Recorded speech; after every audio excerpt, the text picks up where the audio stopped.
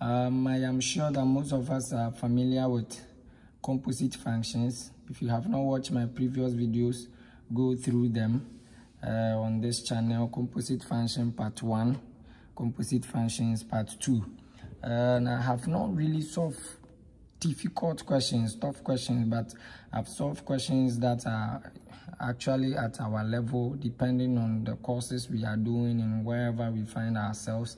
Uh, composite function is much deeper, but I believe the little things we have done or have treated in these previous videos will be very helpful.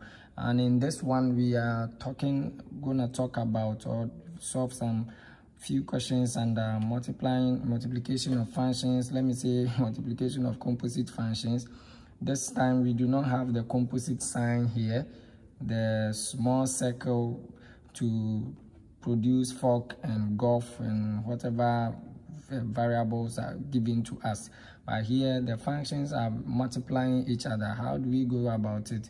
How do we um, solve these kind of questions when we meet them? So i would explain what i have here. I have just written down fg of x gf of x uh, f of x times g of x. So anytime we see something like this fg of x simply means the function f of x multiplied by the function g of x. So this dot here is a multiplication symbol. And then if we have g of x then we are sure that it is simply the function g of x multiplied by the function f of x.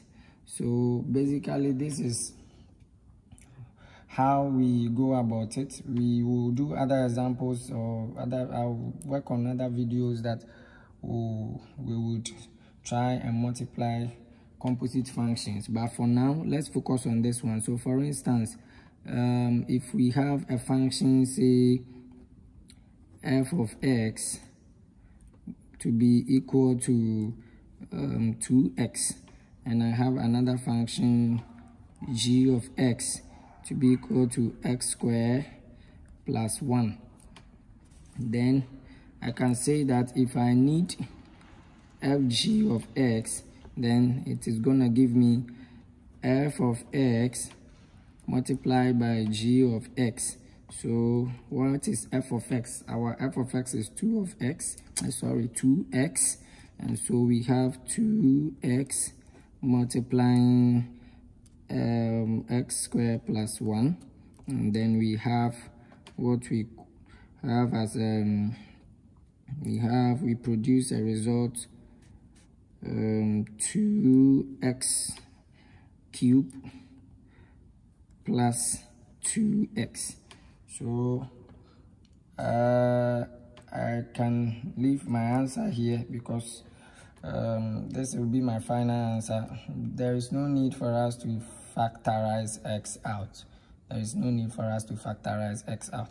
So this is how we go about it. We take the first function and the second function given to us. We multiply them to produce a result. But mostly in books or in our exams or wherever we meet this question mostly the questions are not given to us this way. Even if they are they usually give us a value to be substituted for x any random value that is given to us such that if i have access to this value I can substitute those values for x or that particular value for x to find the uh, solution of fg of what x so let's this is just an explanation let's take one example or some few examples um, okay so what if we have a function f mapping to x giving us 3x. Note that a function can be given in any variable. We can this can be h, this can be p, whatever value uh, variable given to us. But mostly we are conversant with what f and then g. So and then I have another function g of into uh, is to x giving me x minus 3 so then i'm told to find let's assume we are finding um, f g of 3 and gf of 3 so our solution becomes what we need to do is to write this into an equation write the function into an equation. So i have f of x consider the first one. Do not start ahead or straight ahead from this place you need to write it f of x equal to the function given to you 3x then g of x equal to x minus 3 so now that we have this function we can solve. Then the first question is we should find fg of 3 to be able to do that we first need to find fg of x. Like we did in the example we did here need to find fg of x after which you will come back and substitute the value 3 so i would say so let me start the solution on a fresh page. So first i need fg of what?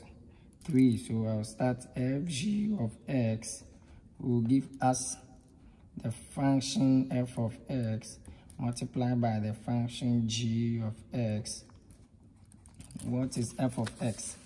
f of x is 3x g of x is x minus 3 so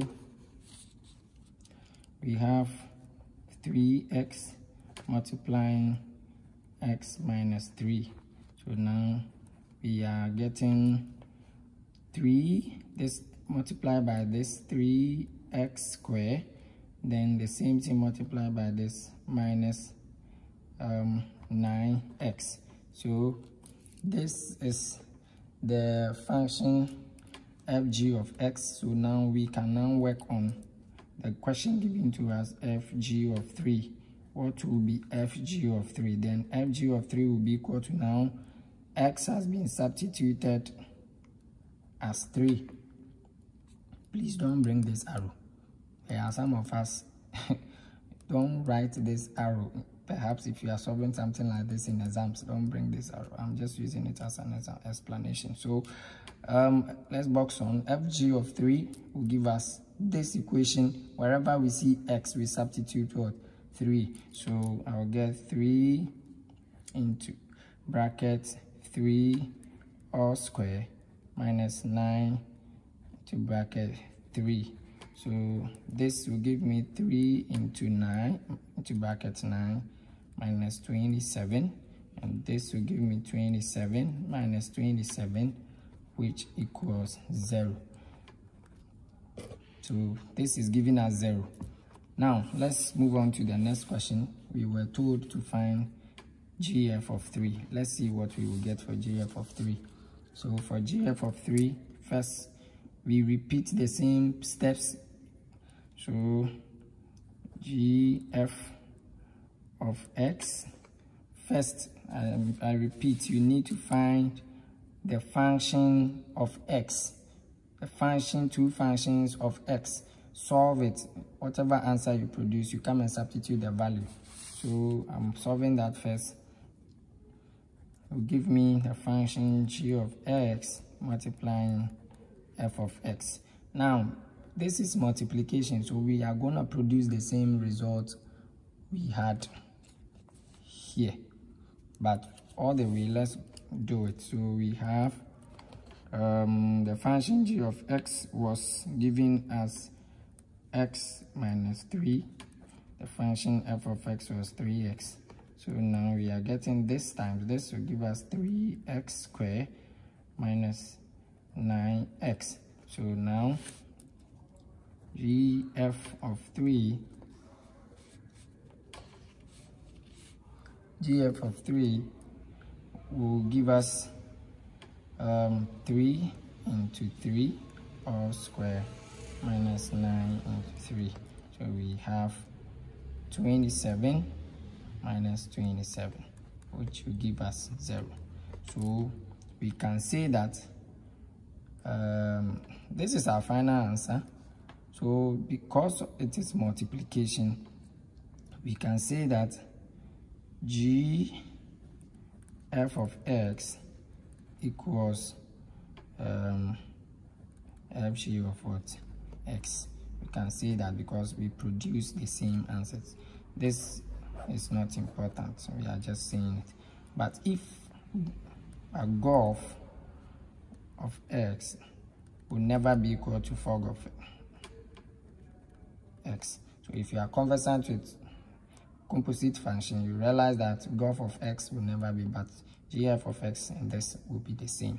I'm just using this to explain. Now this is very simple. So let's see if we can take another example.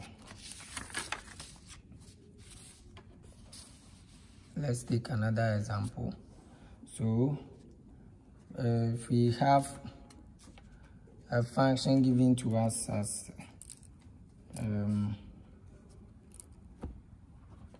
g is to x giving us let's say 1 out of 2x and then we have h map to x giving us 1 plus 2x out of 2x minus 1 now this is all we have.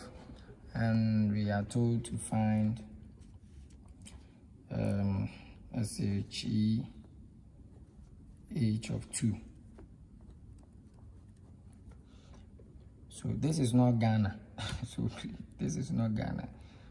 GH so we would just have to find GH of X produce an equation and substitute 2 so first my solution become gh of x will give me a g of x function multiplied by the h of x function.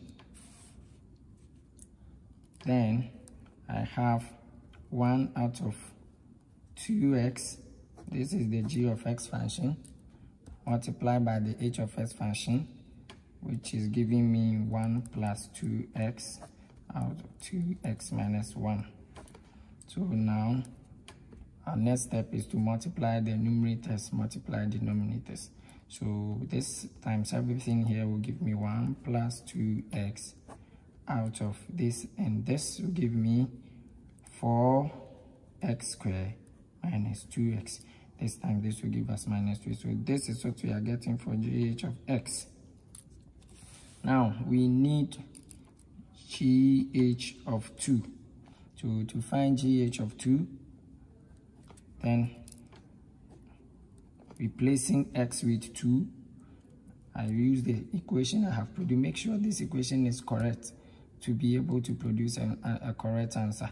So I have 1 plus 2 wherever I see x I substitute 2 2 out of 4 2 square minus 2 2 so we have 1 plus 4 this will give me 4 into 4 minus 4 so I'm gonna get 5 out of 16 minus 4 giving me 5 out of 12 so GH of 2 is giving us 5 out of 12